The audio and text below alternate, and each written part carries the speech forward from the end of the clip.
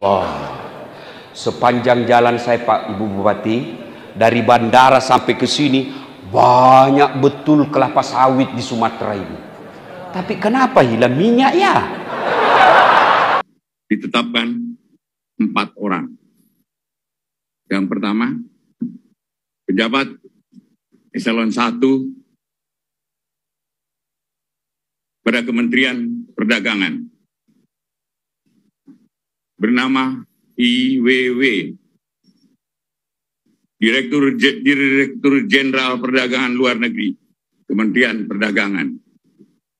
Dengan perbuatan tersangka telah menerbitkan secara melawan hukum persetujuan ekspor terkait komoditi crude palm oil atau CPO dan produk turunannya kepada Permata Hijau Group Wilmar Nabati Indonesia, PT Multimas Nabati Asahan, dan PT Musim Mas.